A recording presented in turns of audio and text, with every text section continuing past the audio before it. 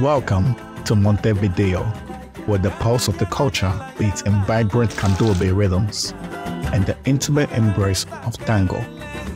Here, the history isn't just remembered, it's lived in the cobblestone streets of the Ciudad Vieja, echoing the tales of colonial pasts and revolutionary dreams.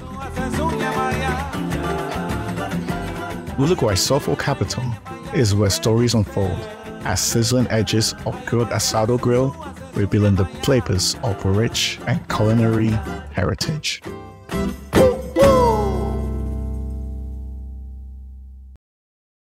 Hey, what's up, fam? You can catch the full video right here. You're here to get that film look, that emulation feature that you can't seem to get on your other videos, right? But the Dehancer reached out to me and a bunch of other content creators to test out their plugin. And without further ado, let's get to it. So as you can see, I have one of the clips from the video. This is a part of the city of Montevideo. I'm going to start by going to the effects and searching for the plug in Dehancer. Oh, one more thing here. After you install Dehancer, you would also have to install the profiles of the cameras you're trying to emulate. When you start Premiere Pro, make sure you click the Alt button as well as the icon. This will bring a pop-up and you would have to select the reset cache option. If you do not do this, you may not see the options of the cameras you need in the plugin. Before we get started, I'm actually going to add a new adjustment layer. And in this adjustment layer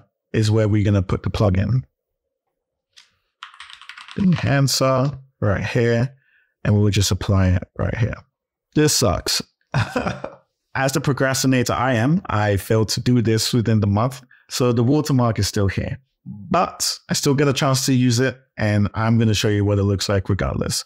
Please ignore the watermark. The first setting of Dehancer is the input. I shot this in S-Log 3. I have the option for the source to actually choose the camera, which I shot it on, and it was the A7 IV and it automatically kind of changes it. Once we've chosen the camera, we can check the exposure composition. When I shot this clip, I overexposed it a little bit. So I'm just gonna go ahead and change the exposure comp to minus one. And for the temperature, I want that summery feel. So I'm gonna make this about 35.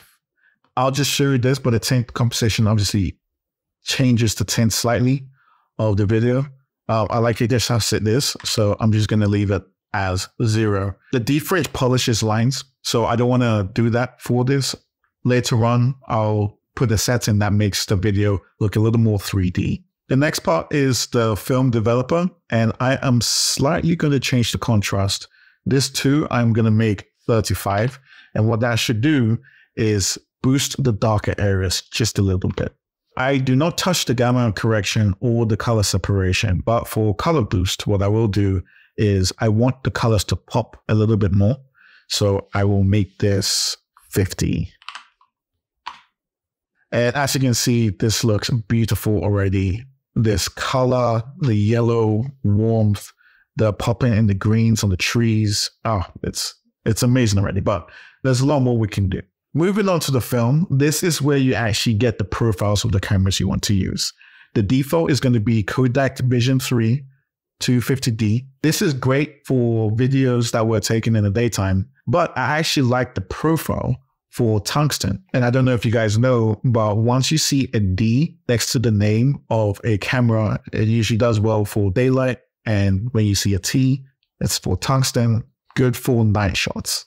Even though this was taken in daytime, I like to go with the 500T because it gives an interesting color, which I think set the mood for the video.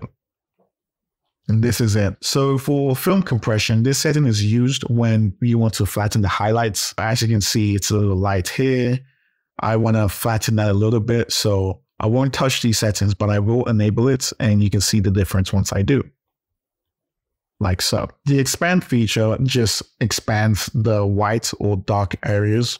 And I want to just expand the white a little bit. So what I will do is change this from 100 to 90. You can see the sky up here light up just a little bit. The print defines the final product and what it will look like at the end. On here, I really like the touch of the tonal contrast. What this would do is give a more three dimensional look to the footage. If I were to bring this up a little bit, see how dark it gets. So this is at zero.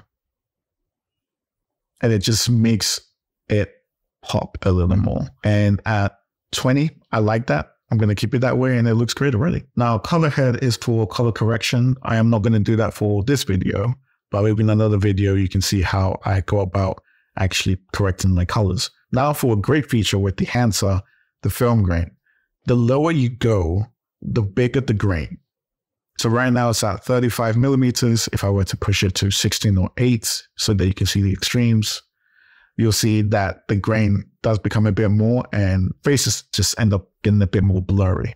Uh, for this, I think I will just keep it at the 35, so what it was before, with the ISO of 250. The next two settings are ones that people love Dehancer for, and it's the halation and bloom. Halation gives that dreamy vintage vibe for lights, and it's perfect for night scenes. As you can see, this is not a night scene. The bloom effect gives also this glow effect for a softer scene. But for me, if I were to put this on, it would cancel out the 3D effect of the print setting. So I'll leave that disabled too. Film damage creates scratches on the video. So the lower the millimeter, the more scratches there are. So if I were to enable this, you would notice as I go through, there are these scratches that show up here. You can see another one right here. The next one is vignette. If you wanted to darken the outskirts of the video, you can do that. I don't really touch this one as much. Like I said, I don't want it too, too crazed up, but I think I leave this at zero, negative 0.4 and we are good. Film breath is an interesting one. Imagine watching a video and for every frame, a setting on the video changes. It goes from a darker tone to a lighter tone to murky or clear, or the brightness somehow changes. It almost gives the illusion that the film is breathing. I personally don't like using it. It just kind of makes like a flicker and it doesn't really give much of what I want. So I will leave this one disabled also. Gate weave is also an interesting one. It kind of reminds me of putting a warp stabilizer on a clip on Premiere Pro. It does the opposite of stabilizing the video and makes it wiggle. I don't really use it either, but if you feel the need to use it in yours, feel free to. The monitor settings used to view hard exposure levels of color, and I'm not a colorist, so I may need a bit more education before I personally use it. And then also check if there's any clipping that shows on this video. So using this right now, it looks like the tonal contrast is a bit too much. So what I'm actually going to do is go and break it down a little bit. Let's say by 10. There we go. Nice. And finally, the output setting just allows you to control how much of the dehancer you want on your clip. And this is the final results. You can see the before and now the after. But just a couple of quick thoughts of Dehancer. I think it's amazing with film emulation. It's pretty accurate. I am able to go in at the cinematic and vintage look I want for my videos. And I also loved how relatively simple it was to integrate into Premiere Pro. I would have said cost as a con, but they have now brought the price to 199 for a lifetime.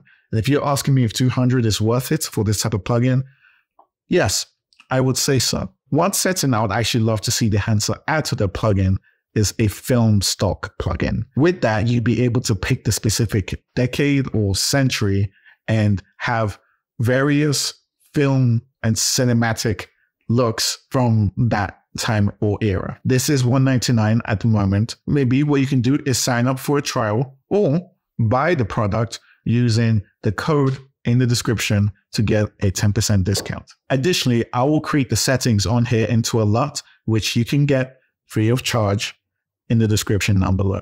I hope you guys enjoyed this video. I don't usually make tutorials like this, but if you enjoyed it, let me know. Please subscribe, and I'll catch you guys in the next one.